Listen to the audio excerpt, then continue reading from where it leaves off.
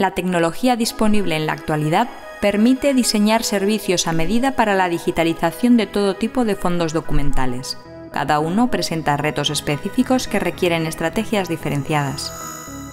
Uno de los ejemplos más claros lo encontramos en la digitalización de documentos históricos y artísticos de gran valor, donde resulta imprescindible obtener imágenes digitales de la máxima fidelidad y a la vez evitar cualquier daño o desperfecto en el original durante el proceso de captura. Cuando escaneamos documentación de despacho, el objetivo principal será alcanzar la máxima productividad posible y garantizar la correcta clasificación de miles de documentos, en cambio, la digitalización de archivos históricos supone un trabajo detallista y minucioso donde no puede escatimarse la atención al detalle. Así pues, no es de extrañar que los procesos, equipos y conocimiento técnico del personal sean completamente diferentes en uno y otro caso.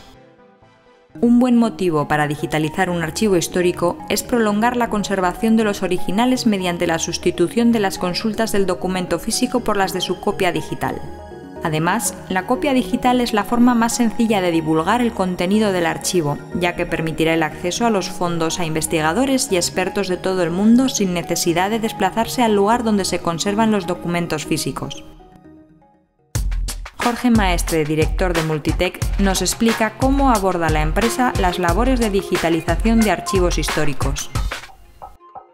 Multitech acumula experiencia en la digitalización de fondos históricos desde el año 2000. En aquel momento, en España, todavía no se había procedido a la normalización de los procedimientos de captura digital de archivos históricos, por lo que cada empresa aplicaba su propia metodología siempre bajo la supervisión de los responsables de estos archivos. Multitech abordó la digitalización de diversas series documentales para el Archivo Histórico Provincial de Zaragoza, digitalizó archivos de las Indias de la Orden de Escolapios, más tarde, prensa antigua de la provincia de Huesca y, bueno, más recientemente, documentación histórica de la Orden de los Carmelitas. En Multitech siempre hemos abordado la digitalización del patrimonio histórico con el máximo respeto a los documentos originales y en cada momento hemos ido incorporando las mejoras tecnológicas que han ido surgiendo en el mercado. Para el Archivo Histórico Provincial de Zaragoza, contar con una empresa en Zaragoza con experiencia eh, sobre el tratamiento de digitalización de fondos patrimoniales, de archivos antiguos, de materiales delicados, especiales, como los que nosotros conservamos, ha supuesto una tranquilidad, una garantía y bueno, un proyecto en el que continuamente podemos seguir eh, trabajando. Existía un consenso entre los archiveros y responsables de biblioteca acerca de la importancia de dar el salto al entorno digital. Las empresas, por una parte, estaban interesadas en sacar el máximo rendimiento a las máquinas que habían comprado y digitalizar el mayor volumen posible de documentos, y por otro, los responsables de archivo todavía no habían adquirido las competencias y conocimientos necesarios en el entorno digital, por lo que el foco se puso más en la tecnología y se relegó a un segundo plano al documento. Más tarde, con la generalización del acceso a Internet, empezaron a darse a conocer en España documentos de buenas prácticas que provenían de Estados Unidos, de organismos australianos o de diversos países de Europa. Y los archiveros de aquí los recibieron con gran interés. Pronto las empresas nos vimos obligados, de determinada manera, a incorporarlos en nuestros servicios como un elemento diferenciador del resto de la competencia. En ese momento, en Multitech detectamos que a pesar de la experiencia relevante acumulada en la digitalización de archivos históricos, no éramos capaces de alcanzar las cotas de excelencia a las que aspirábamos en casos particularmente complejos, como volúmenes muy antiguos, gruesos, encuadernados, con papel muy quebradizo, muy delicado, lo ideal hubiese sido haber podido desencuadernar estos volúmenes, haberlos restaurado antes de la digitalización, pero el coste que esto implicaba lo hacía inasumible. Por este motivo, decidimos dejar de prestar este servicio de digitalización histórica durante un tiempo para dedicarnos a investigar y probar nuevas tecnologías que habían surgido en el mercado. Fuimos a Barcelona, a Madrid, visitamos proveedores en Valencia Probamos máquinas específicas para la digitalización de libros, con sistemas de captura aéreo, y la verdad es que seguían sin convencernos, no conseguíamos lo que queríamos. Esto nos sirvió para darnos cuenta de que el problema no era exclusivamente tecnológico de la máquina, sino que se precisaban determinados conocimientos muy concretos y muy particulares a los que no resultaba sencillo acceder. En última instancia, recurrimos a un antiguo conocido, Luis Torres, el jefe de la unidad de sistemas de reproducción de documentos del Ayuntamiento de Zaragoza. Y fue él quien nos puso en contacto con David Gascón, un joven que se había formado en su laboratorio digital.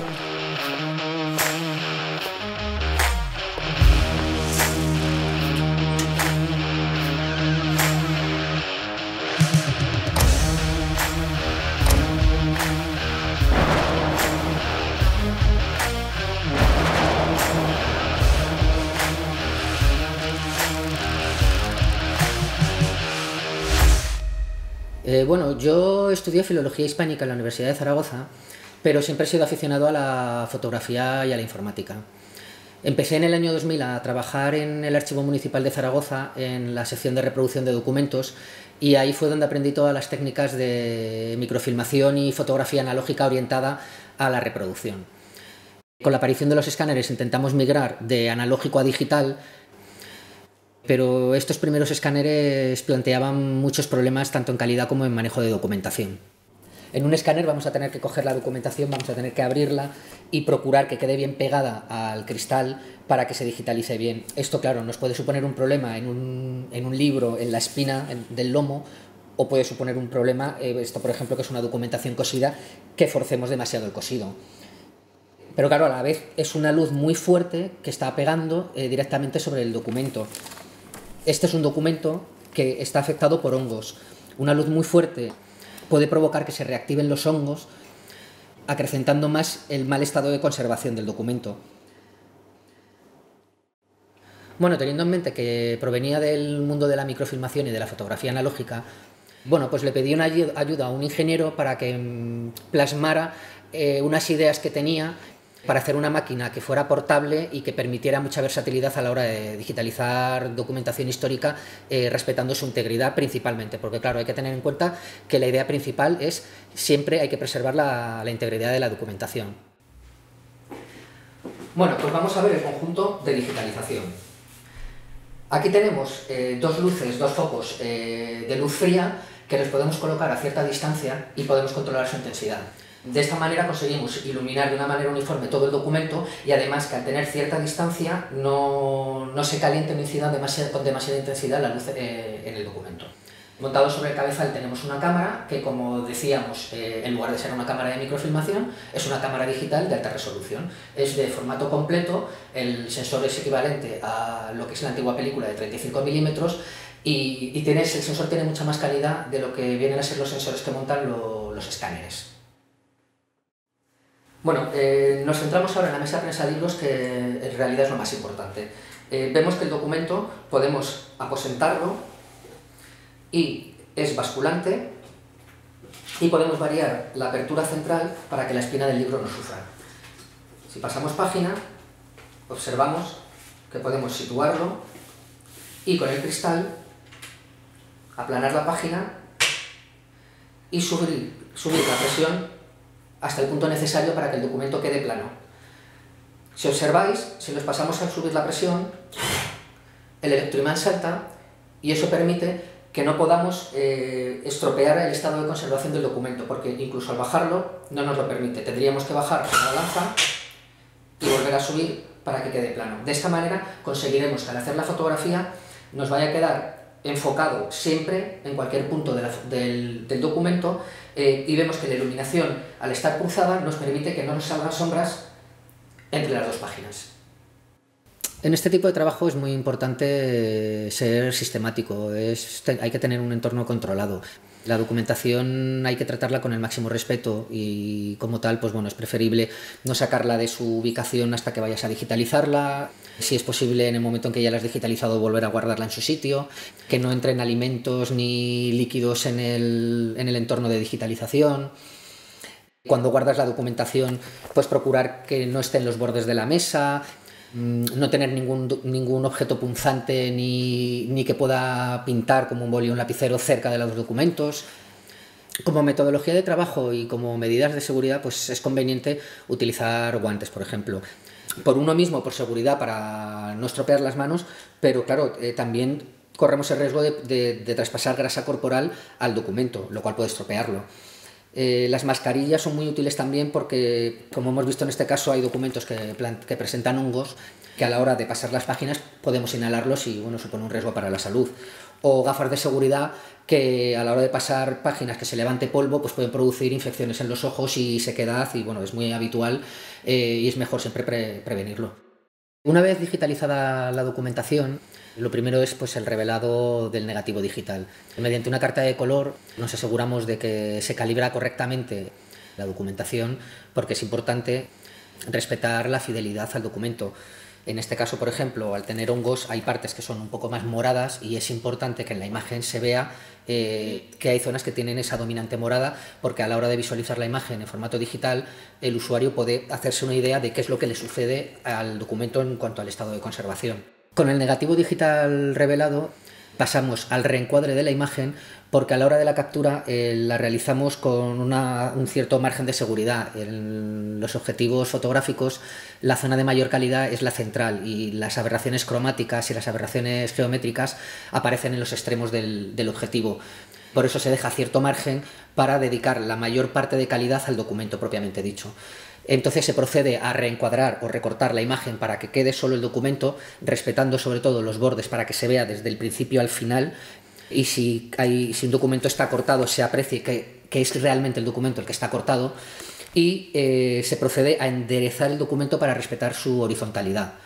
No podemos olvidar que tenemos que cumplir una, doble función, la preservación y la difusión. Eh, por ello generamos dos juegos distintos de, ficheros con la documentación una vez digitalizada.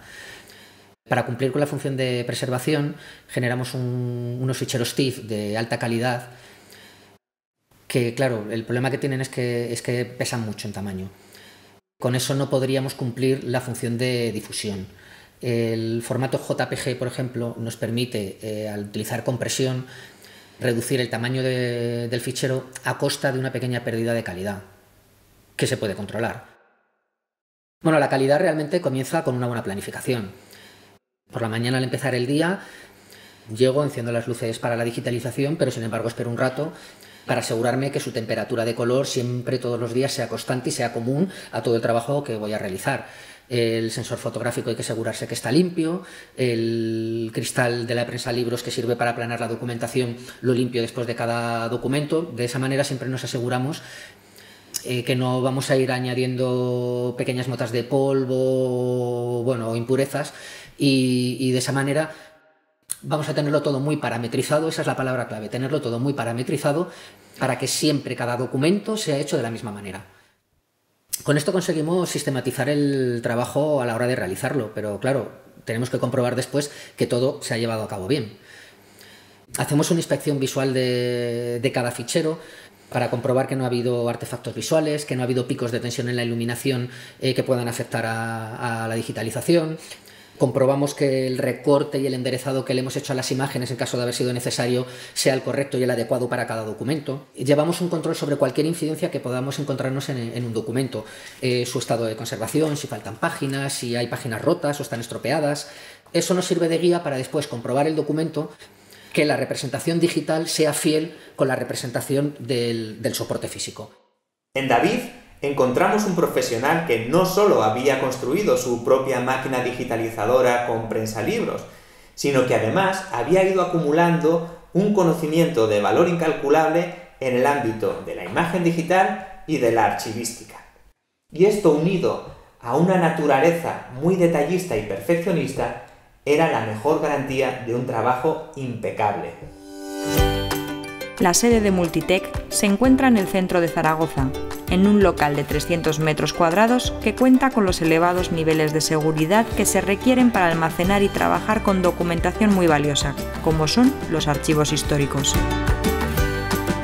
Nuestro local está dotado de sistemas de alarma conectados con la policía, detectores de humo, puertas cortafuego, sellado expansivo de los conductos de ventilación, temperatura controlada del entorno, acceso restringido a zonas de archivo y trabajos sobre las que no discurre ninguna tubería que pudiese provocar goteras o inundaciones.